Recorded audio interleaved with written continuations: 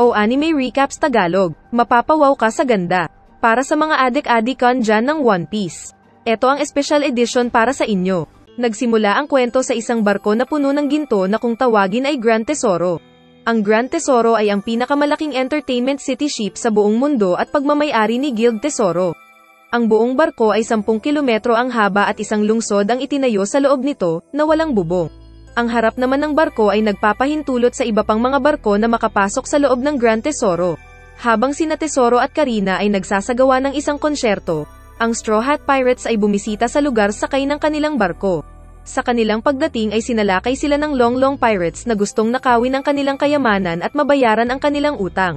Ang Straw Hat Pirates na pinamumunuan ni Monkey Luffy na tinawag ding Pirate King ay nakipaglaban sa Long Long Pirates. Ang iba pang miyembro ng Straw Hat Pirates ay sina Roronoa Zoro, magnanakaw na Nami, ang sniper ng grupo na si Usopp, ang cook na si Blackleg Sanji, ang doktor ng team na si Chopper, ang archaeologist ng koponan na si Nico Robin, ang shipwright ng Straw Hat Pirates na si Iron Man Frankie, at ang musician na si Soul King Brook.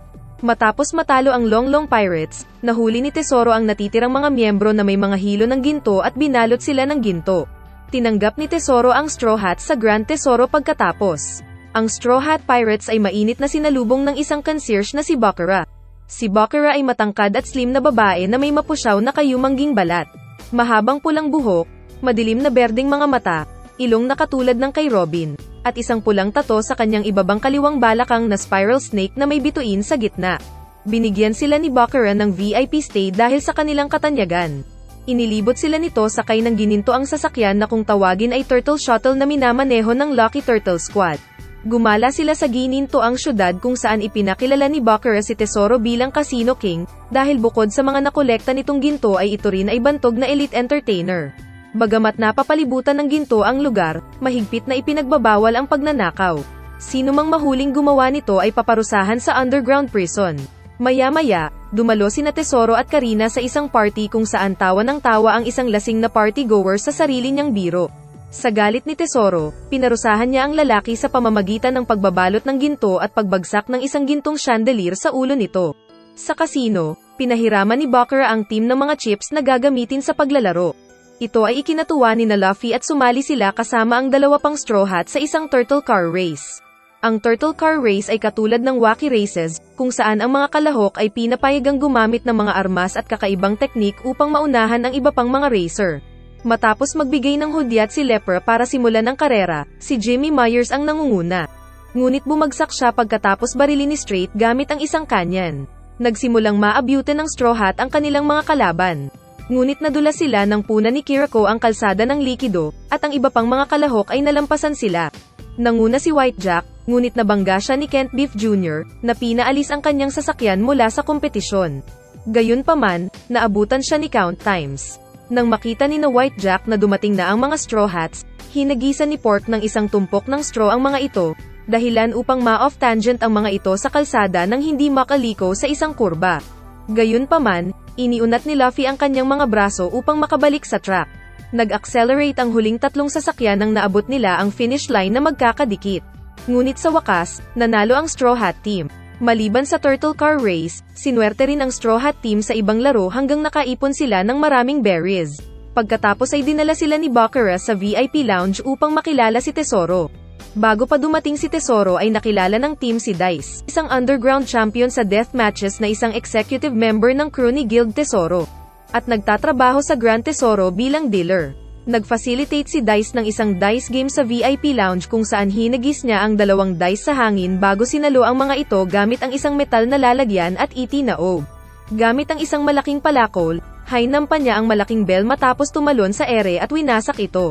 Nagtuloy sina Tesoro at Karina sa VIP lounge kung saan naglalaro at nagkakasayahan ang Straw Hats. Hinamon ni Tesoro si Luffy sa isang laro at nangako na padadamihin ng sampung beses ang kita ni Luffy kung mananalo ito. Kumpiyansa si Luffy na magtutuloy-tuloy ang kanyang pagkapanalo, ngunit hindi siya painalad.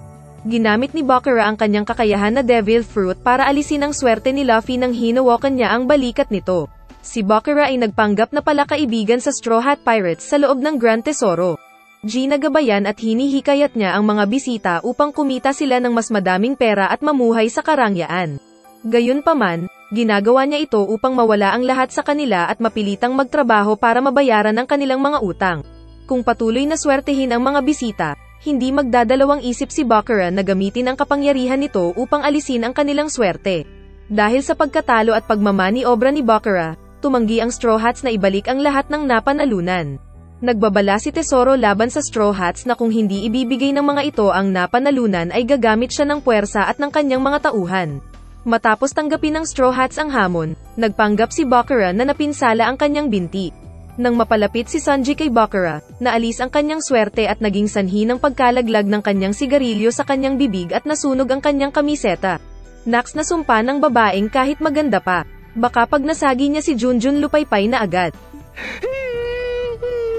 Kasunod na tinalo ni Tanaka sina Usopp, Chopper at Robin sa pamamagitan ng paglukso-lukso sa sahig at pagbaril sa kanila gamit ang kanyang baril. Sinuntok ni Frankie si Dice sa mukha ng strong right, ngunit natuwa si Dice sa sakit. Na ikinagulat ni Frankie, hinarap ni Roronoa Zoro si Tesoro, ngunit ginamit ni Tesoro ang gintong alikabok at binalot si Zoro ng ginto sa mga kamay at paa. Nagbanta si Tesoro na papatayin si Zoro sakaling hindi bayaran ng mga Straw Hat ang kanilang utang bago mag alas 12 bukas ng gabi. Muntik nang pumalag si Nami ngunit tinutukan siya ni Karina ng kutsilyo sa lalamunan, dahilan upang mangako si Nami na babayaran niya ang kanilang utang, na sinangayunan naman ni Tesoro. Di nagtagal, sinalubong ni Karina si Nami sa labas upang dukutan ito. Ngunit bigla siyang hinawakan ni Nami. Matapos ipakilala sa Straw Hats, sumama sa kanila si Karina sa isang kainan. Ibinunyag niya na kahit nagtatrabaho siya kay Tesoro, hinahabol niya ang napakalaking yaman nito si Karina ay kumikilos bilang isang doubling agent. Katulad ni Nami, si Karina ay isang napakagaaman at mapanlin lang na magnanakaw. Ginagawa niya ang lahat upang makakuha at makapagnakaw ng kayamanan. Nagplano sila ni Karina na nakawin ang pera na nakatago sa main hotel. Ibinunyag ni Karina na mayroong 500 billion berries sa loob ng mga hyper sweet room, kung saan mayroon siyang susi, at magagamit ito ng straw hats para bayaran ang kanilang utang at palayain si Zoro. Habang nagtatalo sina Karina at Nami kung sino ang dapat magtago ng susi, nakita ng mga Straw Hat ang dalawang bata na hinaharas ng grupo ng mga tauhan ni Tesoro. Samantala, dumating si Spandam sa Grand Tesoro, kung saan nakatanggap siya ng napakagandang bayad mula kay Guild Tesoro upang dalhin ang kanyang mga puwersa sa Grand Tesoro at tulungan ang mga tauhan ni Tesoro na harapin ang Straw Hat Pirates. Ang isa pang karakter na si Lucci ay nagulat kay Sakazuki tungkol sa pagkakasangkot ng Marine sa Grand Tesoro. Nagalit si Sakazuki na tinutulungan nila ang isang pirata, ngunit sumagot si Lucci na ang mga Marines ay may sariling motibo. Kalaunan ay nakipagkita si Nami kay Karina sa isang rooftop, na hindi nakalimutan ang pagkakataon na nagkasama sila. Ilang taon na ang nakalilipas, nahuli ni Mad Treasure na nagnakaw sa kanya si Karina at Nami at pinahirapan silang dalawa. Doon ay ipinagkanulo ni Karina si Nami at tumakas. Sinabi ni Nami na hinding-hindi niya mapapatawad si Karina kung sakaling magtataksil siyang muli, at nagkasundo ang dalawa.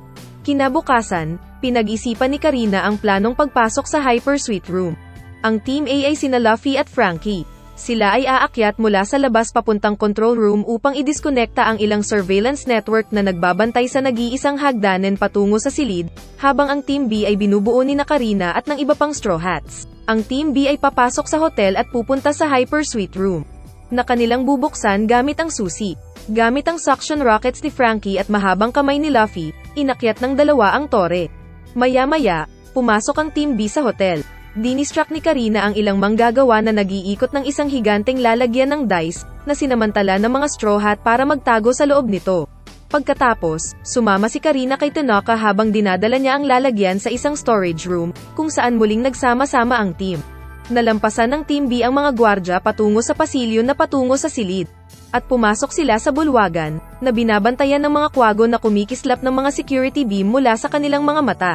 Sa tulong ni Chopper, nagawa ng team na iwasan ang tingin ng mga kwago at makarating sa dulo ng bulwagan. Narating ni na Frankie at Luffy ang pipeline. Gayunpaman, nakita si Luffy at na-activate ang alarm. Bago makatakas, sinaksak ni Tesoro si Frankie sa likod. Binalot ni Tesoro ng ginto ang mga braso ni Luffy at sinabing magtatagumpay lamang ang mga tao kapag may pera.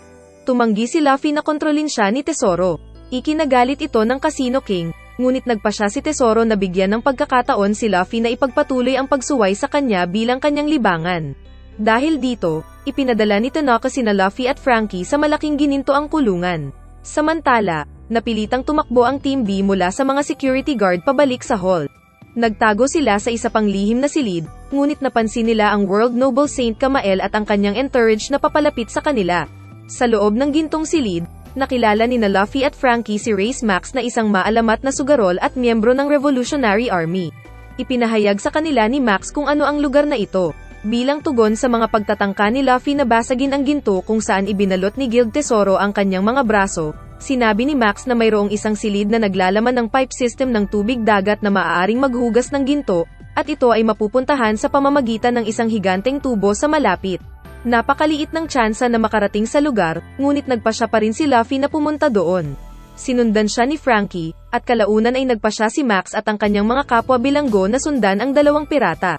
Kalaunan, binisita ni Tesoro ang nakakulong na si Zoro at tuwang-tuwa na inaabangan ang paparating na pagpatay sa pirata. Nagawa naman ng Team B na nakawin ang mga kasuutan ng entourage ni Kamael. Nilabanan ng grupo ni Luffy at Frankie ang isang pulutong ng mga paniki sa tubo. At nakarating sila sa isang patayong tubo na mayroong higanteng fan na mabilis na umiikot sa ilalim nila. Pinayuhan ni Max si Luffy na bumalik, ngunit tumanggi si Luffy na sumuko at nasugatan ng mga fan blades. Dahil sa paghanga sa desisyon ni Luffy, nagpa siya si Max na tulungan siya, at tumalon ito sa fan. Gayunpaman, siya ay nahuli at inihagis din sa pamamagitan ng mga fan blades, ngunit nakuha rin niya ang kanyang composure at kumapit sa isa sa mga talem. Ibinubuhos ni Max ang lahat ng kanyang lakas sa pagpapahinto ng pamaypay. Nagawa niyang pabagali ng fan, at ang kanyang mga subordinate ay naging inspirasyon ng pagsisikap at tumalon din pababa, na nagbigay daan sa kanila na ganap na ihinto ang fan. Nang makarating ang Straw Hat sa stage, natuklasan ng team ang panlilinlang sa kanila ni Karina. Bumalik si Karina kay Tesoro. Samantala, nagawa ng grupo na makababa sa silid ng tubig dagat, at nagawa ni Luffy na buksan ang tangke ng tubig dagat. Ngunit habang nakulong ni Tesoro ang mga Straw Hat at naghahanda na bitayin si Zoro. Alam niya kung nasaan sina Luffy at Frankie at sinubukang lunurin ang mga ito sa pamamagitan ng pagbaha sa kanilang lokasyon ng tubig dagat. Gayunpaman, ang kapangyarihan sa Grand Tesoro ay biglang nawala, at ang mga Straw Hat ay nagpahayag na si Karina ay nasa kanilang panig, at sila talaga ang nanlilinlang kay Tesoro. At habang lumalabas ang tubig dagat mula sa bawat fountain at binaha ang venue, naging matagumpay ang plano ni Karina. Ibinunyag ng grupo ni Karina na sinadya nilang mangyari ang lahat ng ito upang mailabas ang tubig dagat. At dito ay pinalaya ng tubig dagat ang lahat mula sa kontrol ni Tesoro sa pamamagitan ng paghuhugas ng gintong alikabok sa kanila. Ang grupo ni na Luffy at Frankie ay lumabas mula sa isang fountain. Sina Luffy, Frankie, at Zoro ay sumama sa iba pang Straw Hats upang labanan si Tesoro, nagalit na galit nang maalala niya ang kanyang nakaraan, at nagsimulang magutom upang mabawi ang kapangyarihan at kontrol. Pagkatapos ay pinasabog ni Tesoro ang hotel at nagpatawag ng napakalaking alon ng ginto upang balutin ang lahat.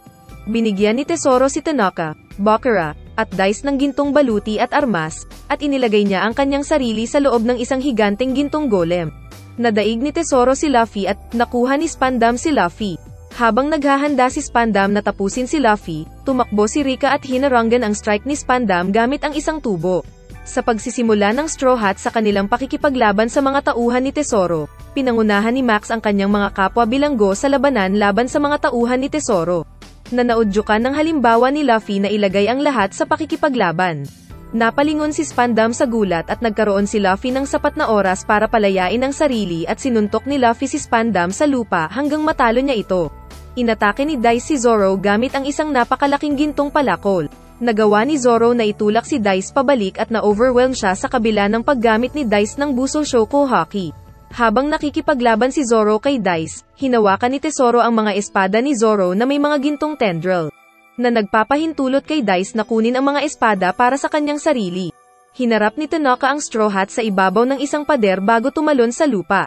Tumalon-talon siya sa lupa sa paligid ni Sanji at Robin at tinutukso sila sa pamamagitan ng pag-ikot at pagbaril sa kanila.